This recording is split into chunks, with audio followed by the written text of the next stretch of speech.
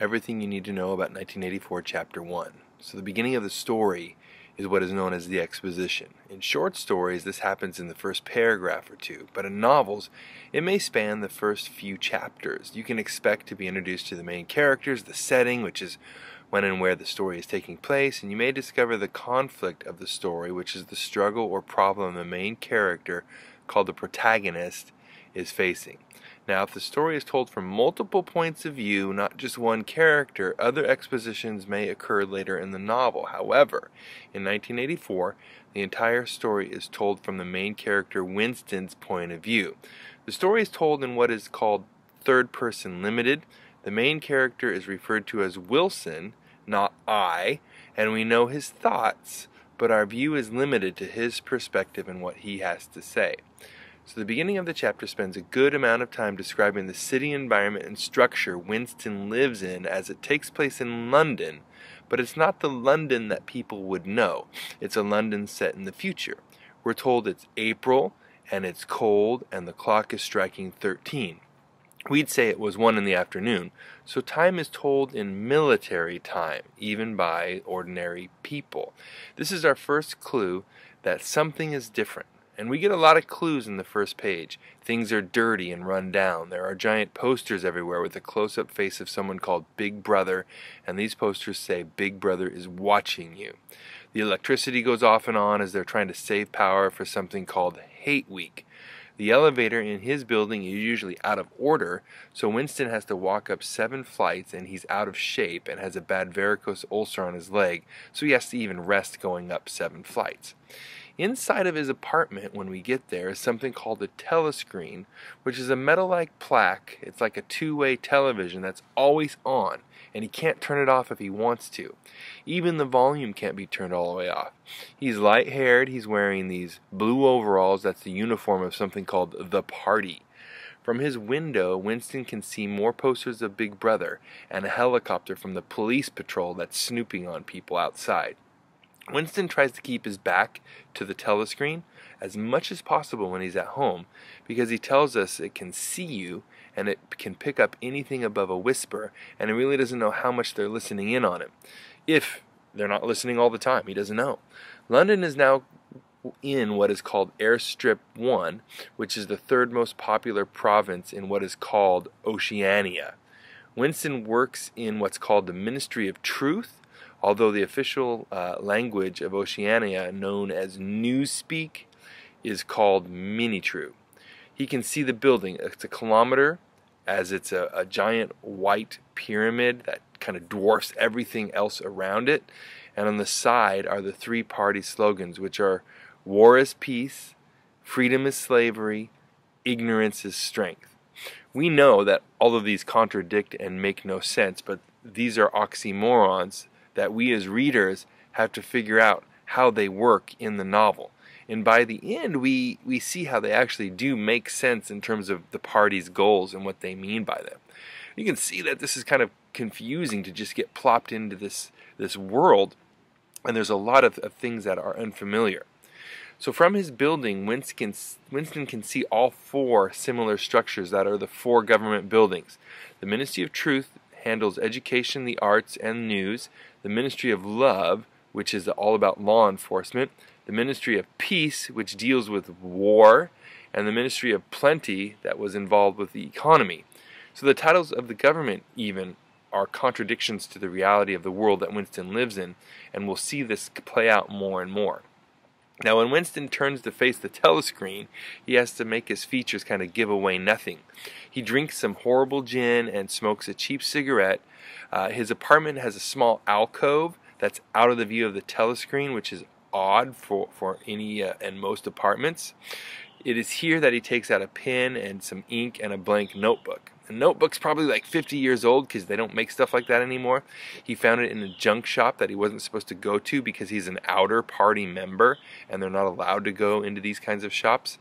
But many party members break the rule to get certain items like razor blades, which they can't get otherwise. We're told that he's going to start a diary, which isn't illegal since there aren't any laws, but if he caught was caught with this diary, he says he'd be executed or get 25 years of hard labor just for having this plain blank book. He bought the pen because it felt like it was the right thing to use for the book, even though at this point in history, for Winston, everything is dictated into a computer. He writes April 4th, 1984, but he admits he doesn't really even know what year it is, even though he's pretty sure he's 39 years old. Then he's kind of stumped with what to write, not knowing who he's writing for, since if it's the future uh, and it's the same, no one's going to listen, and if the future is different, no one's going to understand. So in a panic, he just starts writing, telling of going to the movies that, that he did the other night.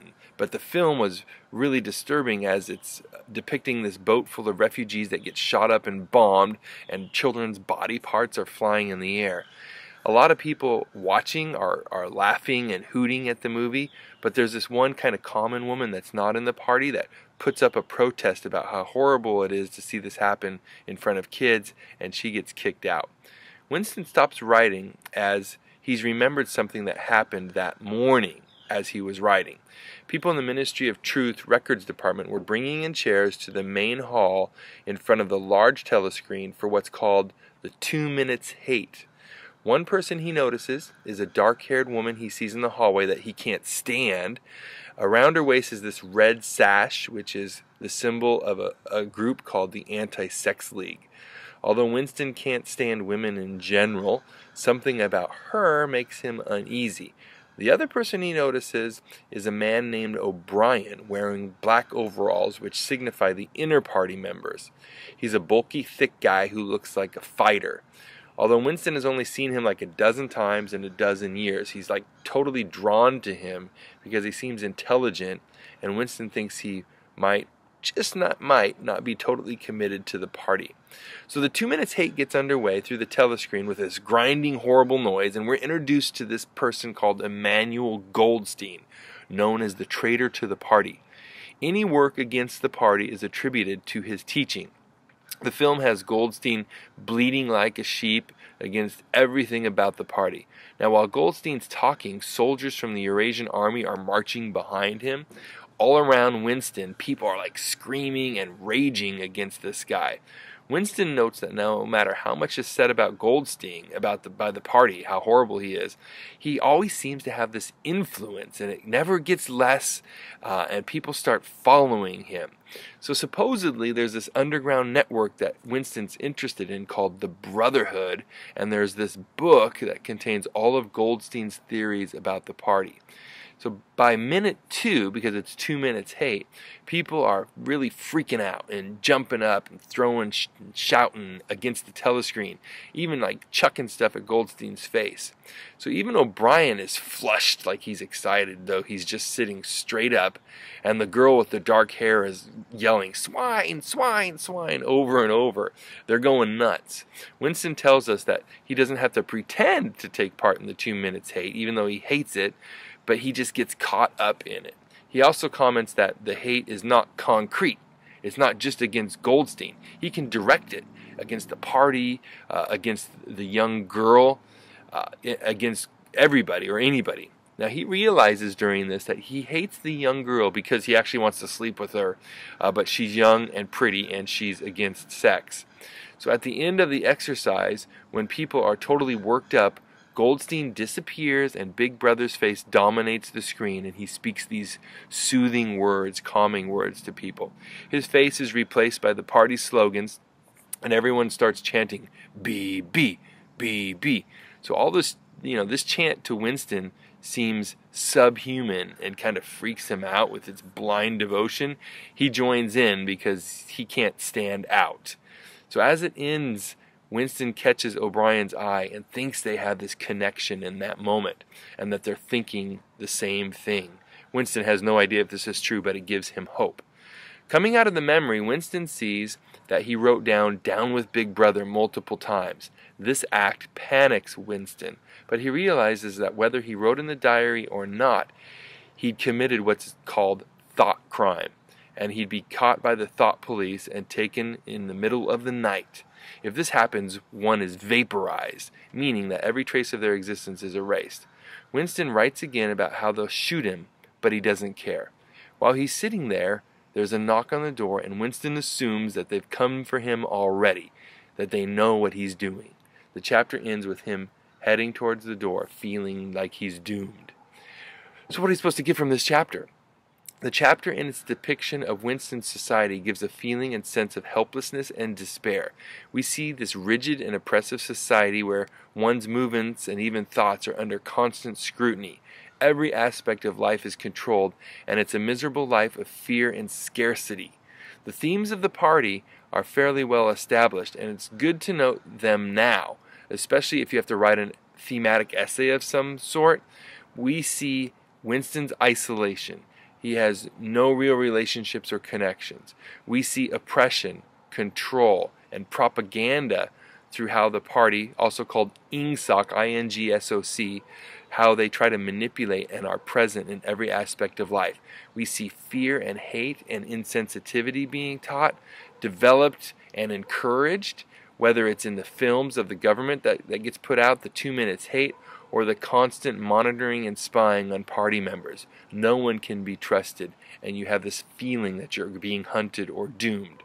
There is political commentary already occurring in the domination by the government, even in the very buildings that they're housed in, and how they overshadow London, and the contrast in the ministry names and their actual functions. It's a frightening and depressing picture that is painted even in the first chapter. And even the thoughts of our main character are disturbing and what he wants to do to the long haired girl, the dark haired girl, out of his hate for her. While Winston is the story's protagonist, he's really not a hero. Questions, comments about chapter 1? You can uh, ask in the comments section.